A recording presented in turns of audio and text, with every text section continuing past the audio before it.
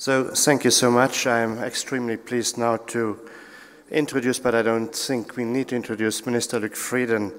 He's been for many years the Minister of Finances of this huge Grand Duchy of Luxembourg. And uh, he's not only a very clever Minister of Finances, but also a man of culture. And what I also appreciate with him, having had the pleasure to work with him for many years, is that when you have a discussion with him, he is able to listen to you. He brings in his arguments, we brought in our arguments, and we always had a very attentive ear from him. Thank you, Minister Frieden, for accepting to be our guest speaker today. Thank you.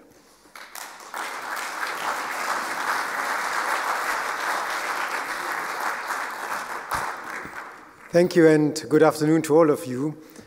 It's a great pleasure for me to escape a little bit the discussions uh, regarding the euro crisis to meet uh, so many interesting people from the art world, but also from the finance world, and to convey to you today, in the context of your conference, uh, two messages. The first one is that um, Luxembourg government and myself strongly believe in the importance of um, Chinese-Luxembourg relations. And secondly, I do think that um, the issue being discussed this afternoon, art and finance, opens up new doors and new possibilities for this international diversified financial services center that Luxembourg represents. Luxembourg and China is an old story.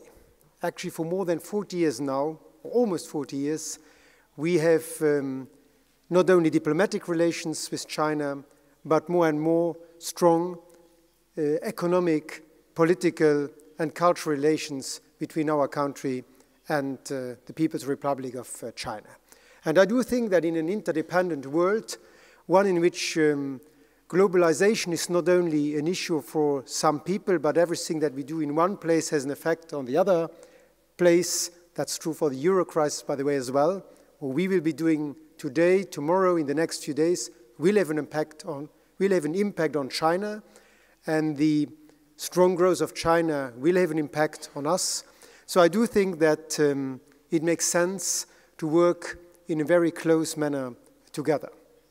That's why I regularly go to China. I've been in China last week, and um, I realized again that the interest in China is uh, quite um, important with regard to what's going on in Europe, but also with regard to what's going on in this country.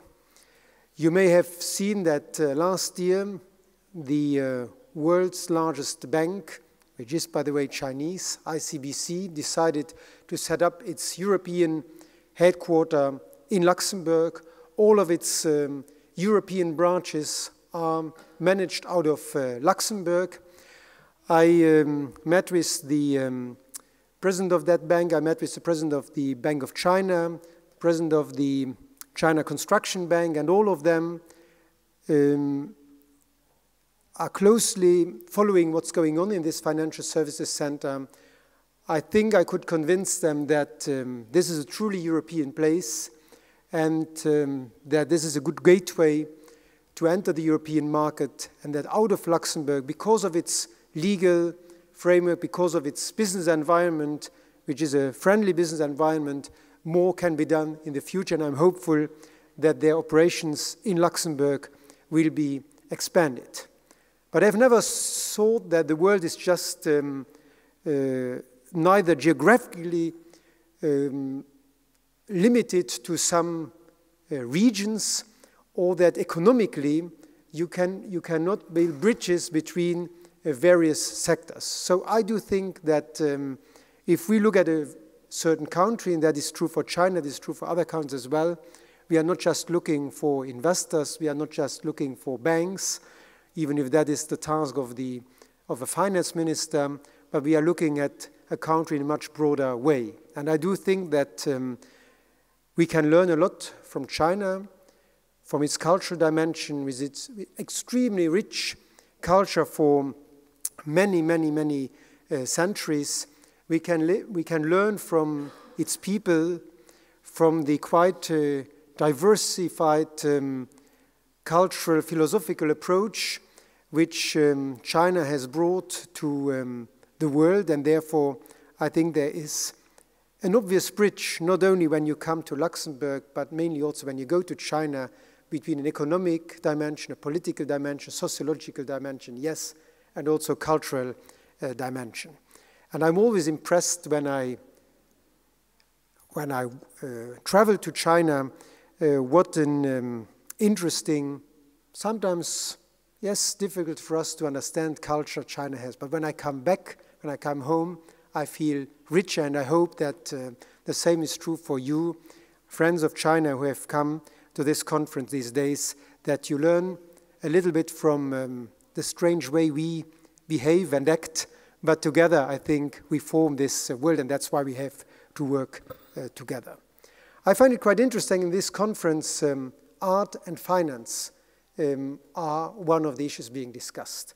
Because I think when I look at the uh, diversification of um, the activities at the Financial Services Center in Luxembourg, and Luxembourg is one of the largest financial services center in uh, Europe, number two in the world when it comes to investment funds, uh, number one in the Eurozone when it comes to wealth management. Art has become a new area in which um, it is interesting uh, to invest.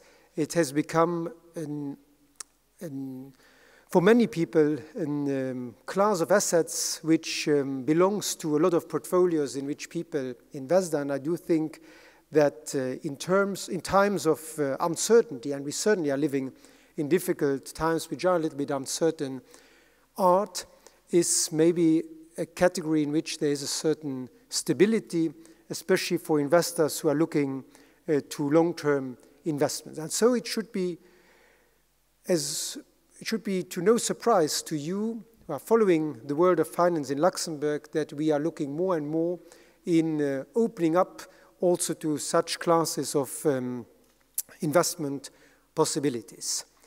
Luxembourg has been for many years a very international financial services center which could develop mainly because of two uh, elements. One is the international dimension, the other one is the stability. That is political, economic, social stability, and that leads also to a certain predictability, so that people know that um, if they come to Luxembourg, there's a framework which allows them also to have a long-term view and which creates trust uh, when it comes to the financial services uh, sector.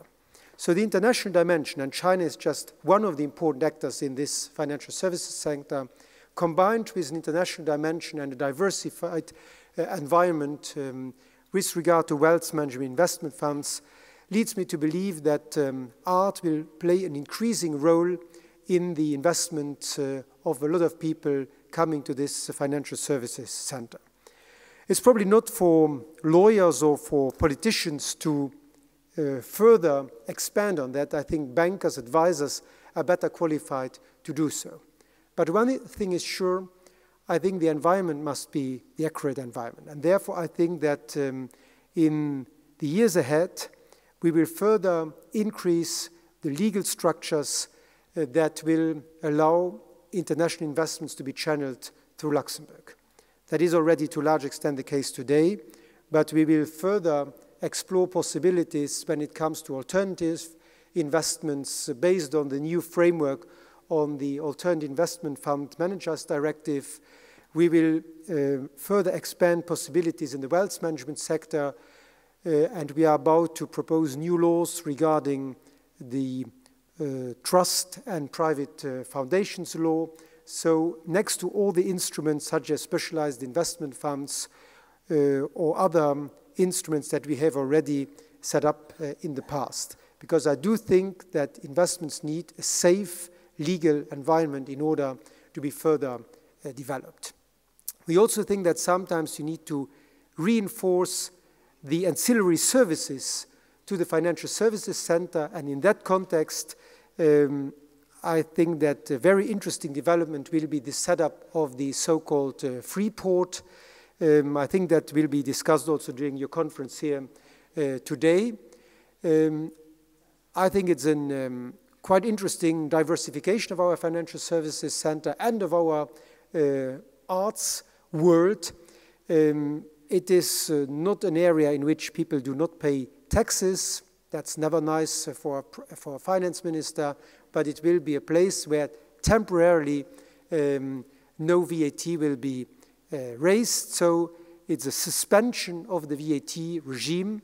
And um, I'm hopeful that um, after the law having been approved by Luxembourg Parliament just before the summer break, uh, the um, relevant work can start um, in the not too distant future so that in one to two years the, this free port will be uh, fully operational. It will be based uh, at the um, Luxembourg airport so that it can be part of uh, the world of arts, the world of finance, the world of logistics, and indeed um, the airport is the ideal place for making this um, useful, interesting uh, Freeport. I visited uh, last week the um, in, uh, Freeport in Asia, in Singapore, and um, I could, by the way, also discover a lot of uh, nice artworks uh, down there. So I hope that a lot of uh, these interesting pieces of art will also be come to Luxembourg for being admired by those who love art and um, bought and sold by those who uh, may love uh, art, but at the same time invest in this interesting category of, um, uh, of art. So I think the, the message of the government today is um, twofold. On the one hand, um, great interest and importance to which we attach the relations between Luxembourg and China. I think we can do more, and I would like to congratulate the organizers of this conference for having taken this initiative bringing people together is um, always important. Bring people together in Luxembourg from China and Luxembourg opens up new perspectives. Bringing people together out of the world of culture and people out of the world of finance make this relationship even stronger. And having chosen Luxembourg for doing this is, I think, the appropriate place because you have a lot of important financial centers in Europe, in the Eurozone, but I think there's only one which is truly international, and that is Luxembourg. So uh, welcome to all of you.